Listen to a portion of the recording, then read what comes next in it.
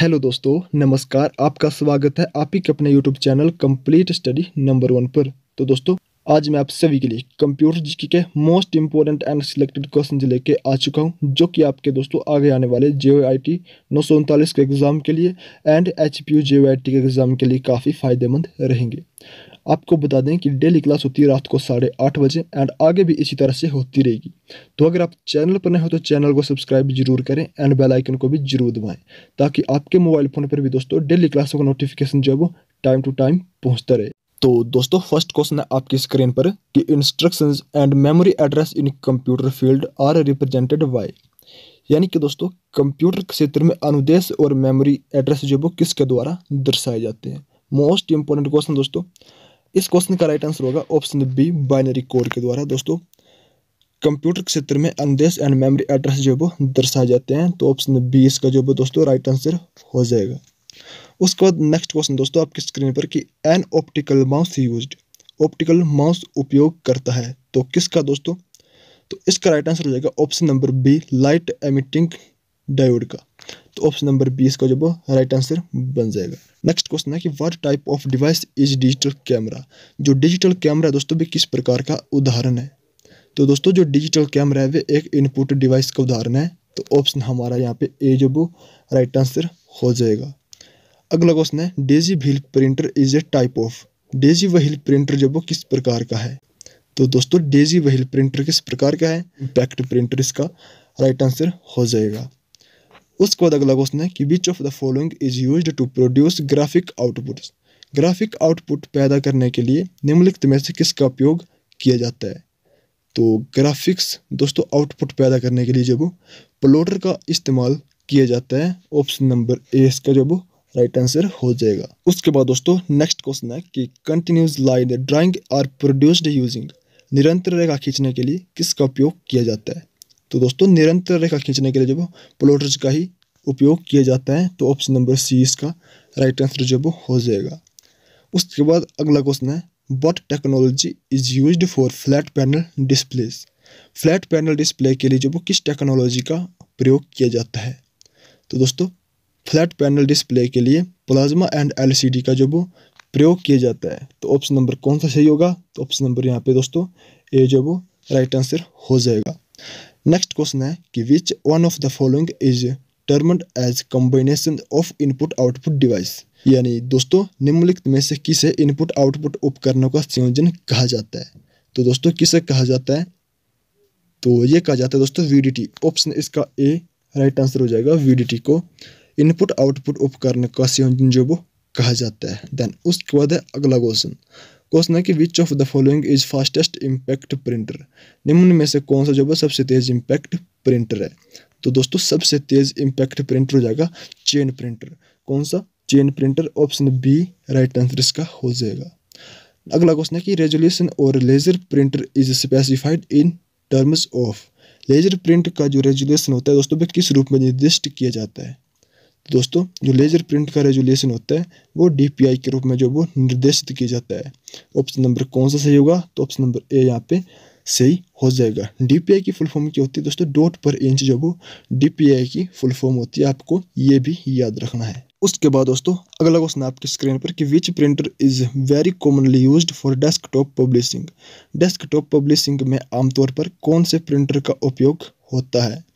दोस्तों, कौन से प्रिंटर का उपयोग होता है? तो ऑप्शन नंबर इसका जो वो ए राइट आंसर हो जाएगा लेजर प्रिंट का।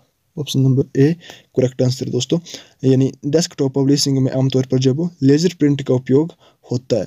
देन नेक्स्ट क्वेश्चन है कि प्लोटर प्रिंटर यानी प्लोटर जो प्रिंट करते हैं तो दोस्तों जो प्लोटर होते हैं, वे प्रिंट करते हैं बॉल पॉइंट्स पेन के साथ ऑप्शन बी इंक पेन के साथ C electrostatically option D all of this तो दोस्तों इसका राइट आंसर हो जाएगा option D all of this तो इसका ऑप्शन है डी जो वो करेक्ट आंसर हो जाएगा। इसके बाद दोस्तों नेक्स्ट क्वेश्चन है कि to produce high quality graphics hard copy in colour you would use a यानी उच्च गुणवत्ता के ग्राफिक्स हार्ड कॉपी रंगीन बनाने के लिए जो वो आप किसका उपयोग करेंगे। तो दोस्तों इसका राइट आंसर हो जाएगा plotter option number B right answer इसका बन जाएगा। नेक्स्ट क्वेश्चन है U S B port comes under यानी कि दोस्तों यूनिवर्सल सीरियल बस इसकी फुल फॉर्म होती है एंड ये किसके तहत आता है? तो दोस्तों ऑप्शन ए सीरियल पोर्ट के तहत ऑप्शन नंबर ए इसका राइट आंसर बन जाएगा। दोस्तों नेक्स्ट क्वेश्चन है कि which of the following require large computer memory निम्न में से किस जो वो लार्ज कंप्यूटर मेमोरी की आवश्यकता रहेगी? तो इमेजिंग ग्राफिक्स वॉइस या फिर ऑल ऑफ़ दीज आपको बताने किसी राइट आंसर किया होगा। तो लार्ज कंप्यूटर मेमोरी की जो आवश्यकता रहेगी, दोस्तों, वे रहेगी इमेजिंग को भी ग्राफिक्स को भी एंड वॉइस को भी। तो ऑप्शन कौन सा सही होगा? तो ऑप्शन हमारा डी यहाँ पे सही हो जाएगा ऑल ऑफ़ दीज देन उसके बाद दोस्तों, अगला क्वेश्चन है मोस्ट इंपोर्टेंट क्वेश्चन आप सभी के लिए। आपको बताना कि E PROM is generally erased by using E PROM को सामान्यतः किसका उपयोग करके मिटाया जाता है? दोस्तों ई प्रोम की फुल फॉर्म होती है erasable programmable read only memory तो अल्ट्रा वायलेट रेज इसका जो वो राइट आंसर हो जाएगा, यानी पैरा बैंगनी किरणें के उपयोग करके जो वो इसे मिटाया जा सकता है। अगला क्वेश्चन है, कैसे मेमोरी एक्टिव बिटवीन कैसे मेमोरी जो वो किसके बीच कार्य करती है? तो दोस्तों, जो कैसे मेमोरी है, वे सी एंड रैम के बीच में कार्य करती है ऑप्शन ए जो वो राइट आंसर हो जाएगा। उसके बाद दोस्तों नेक्स्ट क्वेश्चन है कि तीन bit binary number can be represented by तीन बिट बाइनरी संख्याओं को जो किसके द्वारा दर्शाया जाता है? तो तीन बिट बाइनरी संख्याओं को, दोस्तों, इसे ऑक्टल नंबर के माध्यम से दर्शाया जाता है। ऑप्शन इसका जो वो डी राइट आंसर हो जाएगा।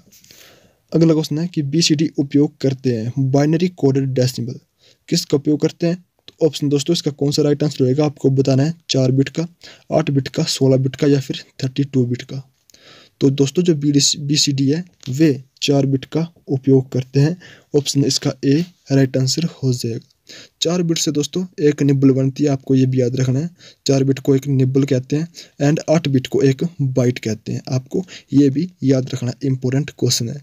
उसके बाद अगला क्वेश्चन है टेक्स्ट एडिटर इज़ एन यानी दोस्तों टेक्स्ट एडिटर है एक तो क्या है? तो टेक्स्ट एडिटर हो जाएँगे दोस्तों option number C utility software option C इसका राइट आंसर हो जाएगा। अगला क्वेश्चन है कि which of the following Windows utilities will erase unwanted file यानी दोस्तों, निम्न में से जो विंडो यूटिलिटीज में से कौन सा अनचाही फाइल्स मिटाएगी? तो कौन सी हो जाएगी? दोस्तों, जो डिस्क क्लीनअप है ऑप्शन बी इसका राइट आंसर हो जाएगा। डिस्क क्लीनअप विंडो जो यूटिलिटी में से जो अनचाही फ़ाइल को मिटाएगी।